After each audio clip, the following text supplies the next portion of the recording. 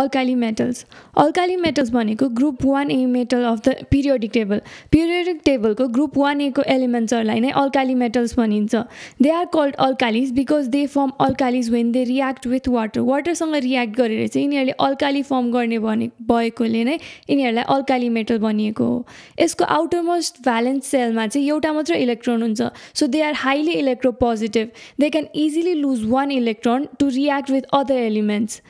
hydrogen which which also has one electron in its valence shell यसको पनि एउटा मात्रै इलेक् इलेक्ट्रोन छ भ्यालेन्स सेलमा but it is not considered alkali metal because it is mostly found as a gas and in its normal temperature and pressure normal temperature र प्रेसरमा चाहिँ हाइड्रोजन ग्यासियस फर्ममा मात्रै पाउने भएकोले यसलाई अल्काली मेटल मानिँदैन but it can show properties or transform into alkali metals at certain temperature or pressure